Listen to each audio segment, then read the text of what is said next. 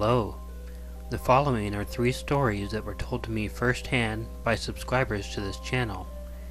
These are all instances where children have experienced things and parents have doubted their experiences, only to end in horrible situations. Enjoy.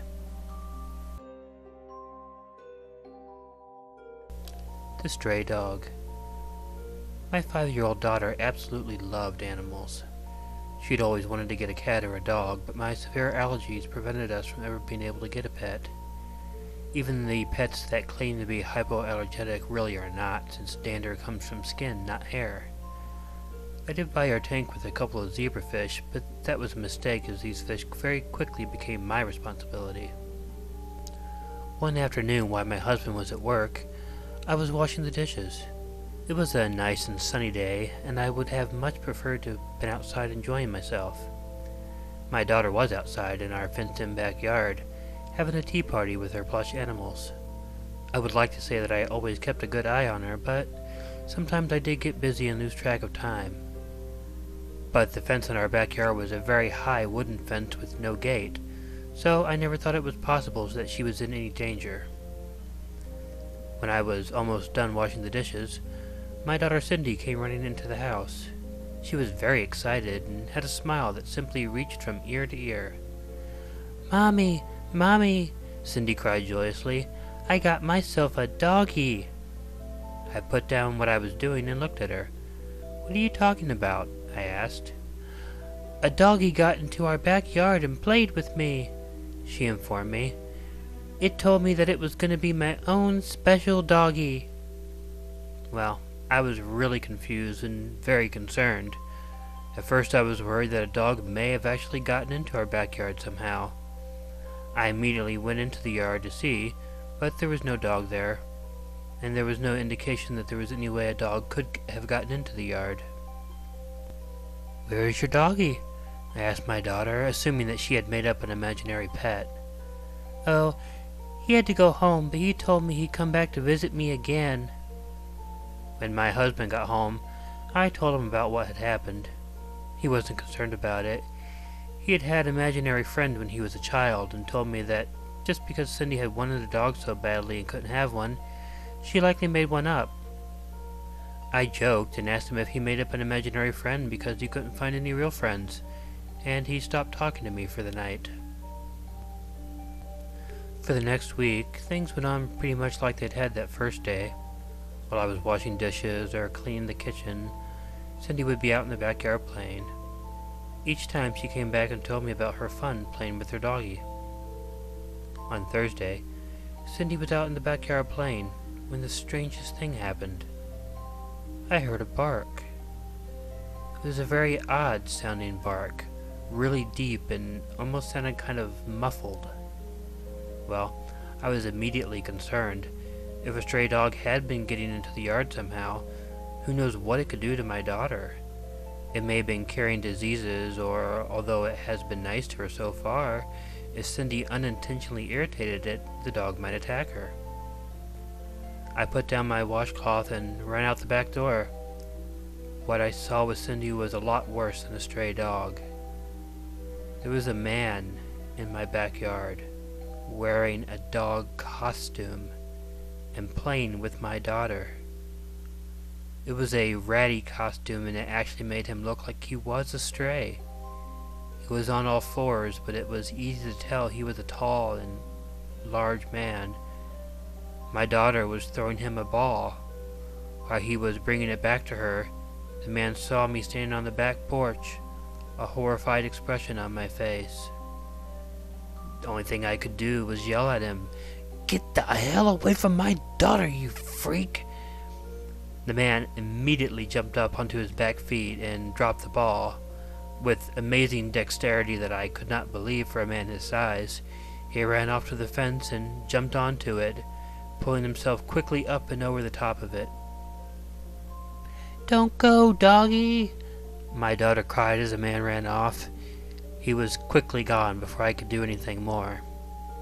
I did call the police, but there was very little they could do. Other than the fact that the man was wearing a dog suit, I couldn't give him a description, and obviously the suit was easy for him to take off. My husband was livid, but we were helpless. The police just told us we should be happy that I discovered what was going on before the man either injured or kidnapped my daughter. Well, needless to mention, they were right. Two things came out of this experience. One, my daughter no longer played in the backyard by herself.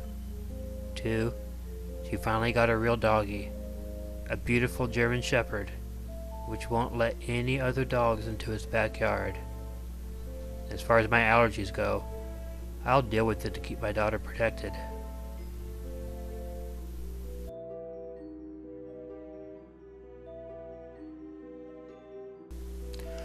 The Monster in the Closet My name is Jeff. This story happened when I was a kid. When I was 10, my family lived in a two-bedroom house. My parents slept in one room which was conveniently on the far end of the house. I shared the room with my seven-year-old brother Michael. I really didn't mind sharing the room with him because I loved my little brother and the two of us got along great.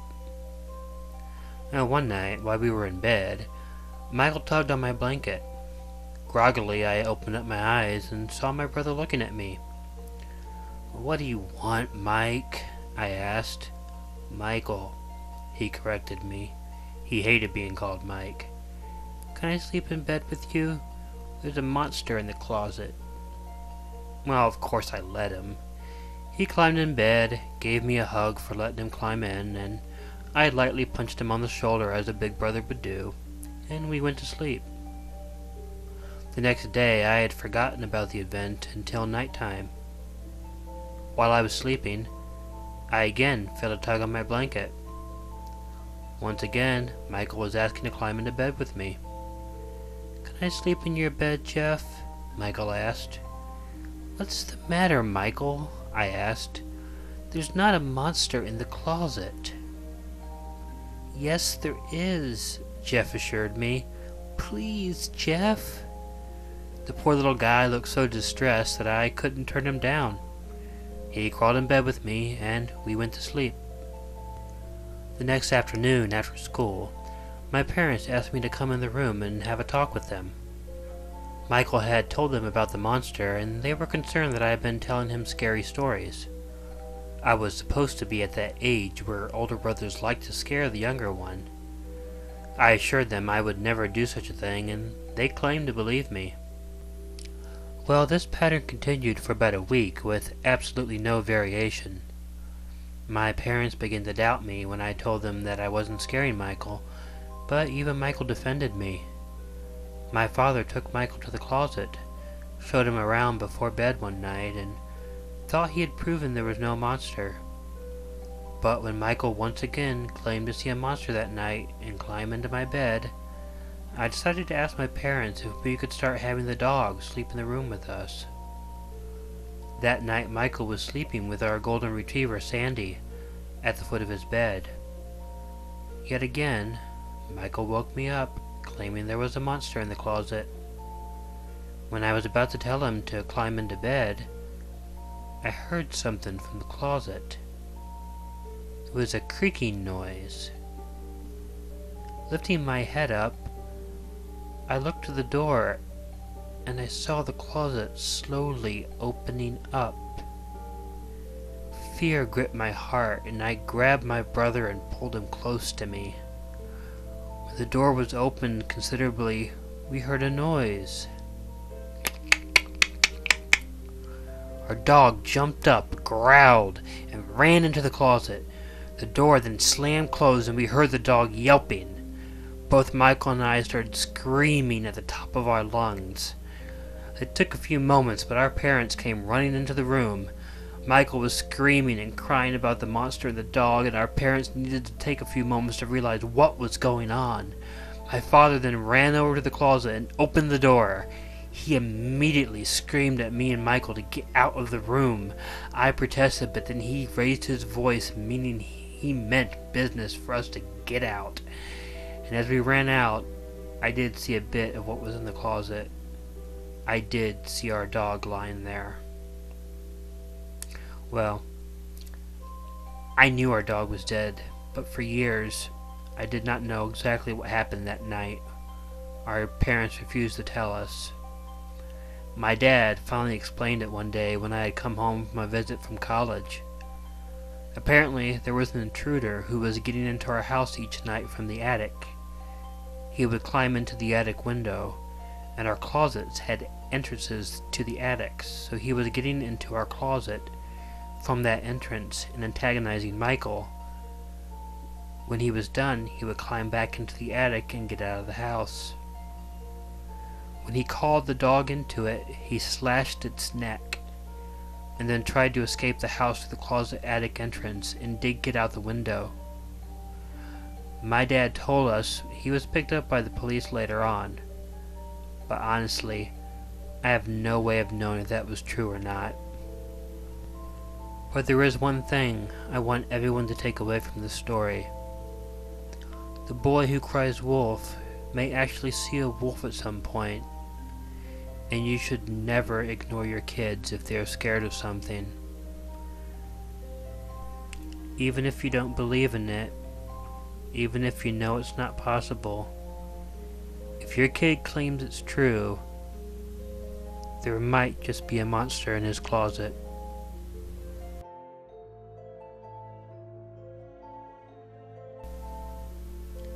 The refrigerator. I live in a two-story house with all of my bedrooms on the second floor. My wife and I have four kids of different ages.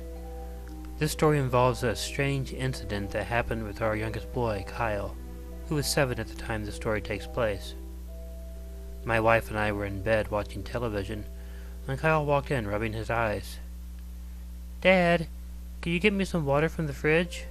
Kyle asked. There's a little boy hiding behind it, and he won't stop teasing me.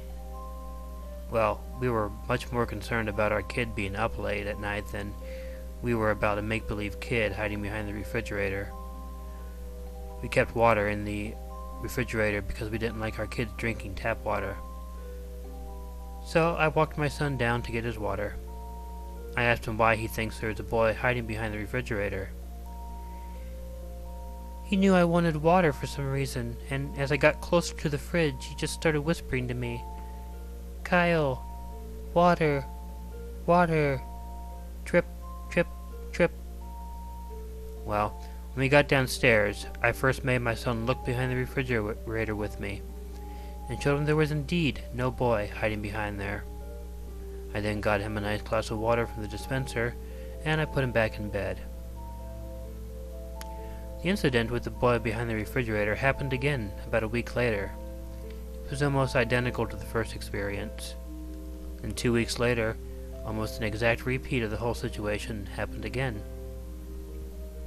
After nearly two months where our son would almost seem to randomly come into our room during the late evening, claiming a boy was behind the refrigerator, my wife and I finally began to get concerned. Although we knew there was no boy behind the refrigerator, we figured there must be something else going on. So I talked to Kyle. I told him the next time he needed some water at night, rather than try to get it himself, he should first come into our room and I will get it for him. About a week after our talk, at about 10 p.m., Kyle entered our room and nervously asked if he could have a glass of water. Leaving Kyle in the room with my wife, I walked down to the kitchen to get the water. As soon as I was approaching the refrigerator, I heard a tiny voice saying, Kyle, water, water,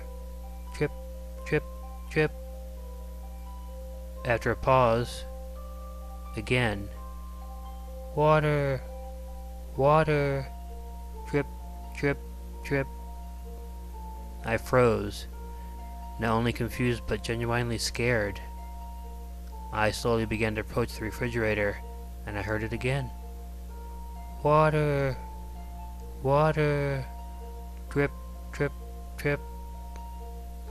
As I moved to the refrigerator, I cautiously walked to the side of it, and I peeked behind it, fully expecting to see a little boy hiding behind the refrigerator. I turned the corner and saw absolutely nothing. Well, well, not nothing really, not nothing. I saw the furnace grating, and I heard the voice clearly lifting from the basement. Kyle! Water! Water! Drip, drip.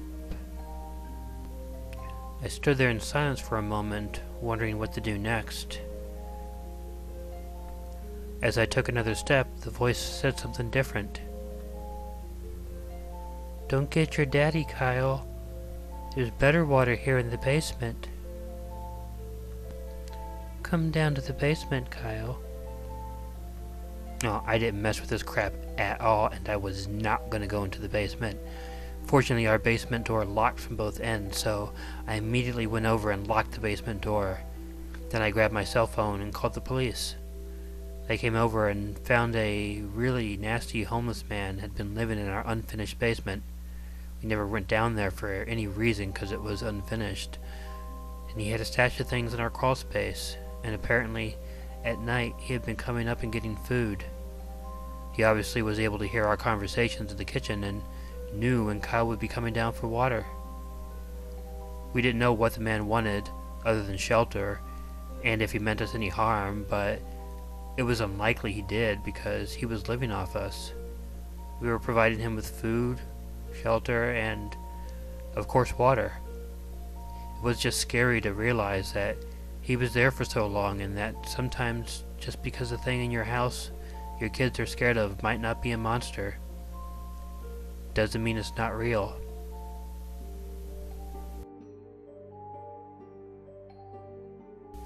Hello there, this is Killer Orange Cat. Hope you enjoyed the preceding stories. I wanted to apologize for a couple things. First, this video took a while to get out, which I apologize.